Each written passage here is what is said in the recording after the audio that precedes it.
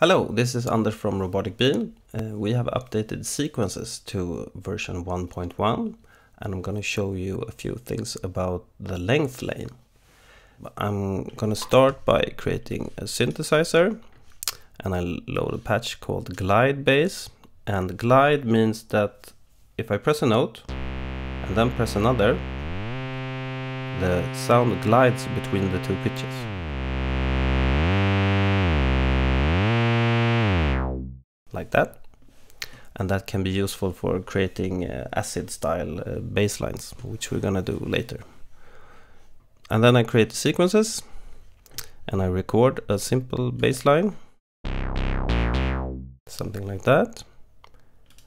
And uh, let's check out what it sounds like.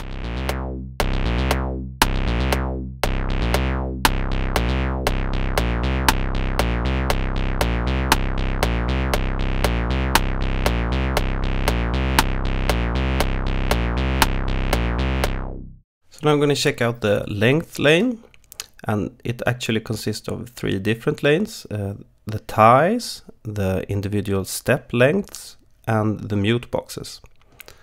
Uh, and we're going to start with checking out the ties. So a tie, if I click this one, you can see that the note is extended and it overlaps this note a bit.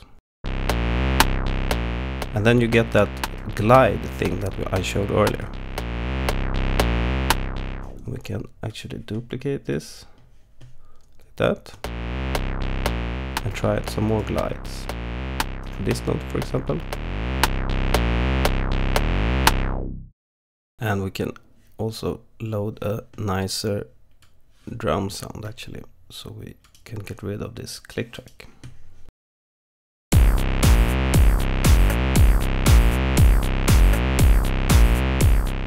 Okay, so now we can change individual step uh, note length. So if I lower this one, you see that the note length is uh, reduced as well. But if I, I can't do this for a tied note because that should always extend to the next note.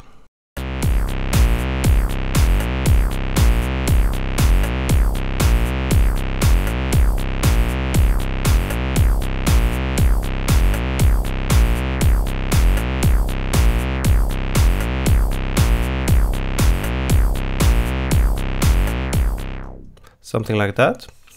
And at the bottom we have the mute boxes, so you can mute individual steps. Uh, and the detail with this is that if you, uh, for example, mute this note that stops this tie, the tie actually uh, continues up until the next note, which is the first.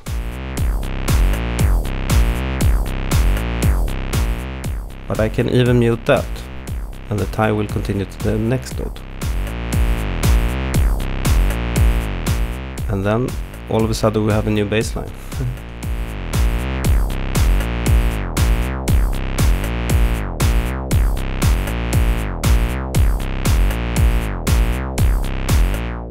and just finally as a extra thing I'm gonna use this CV1 uh, lane and I'm gonna connect the CV1 output to the mod wheel and the mod wheel in ES01 is set to the filter.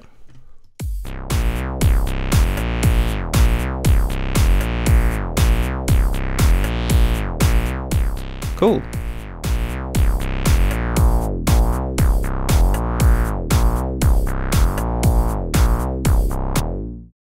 So that's it. Uh, now I hope you know a few things about the length lane. See you later. Whoosh.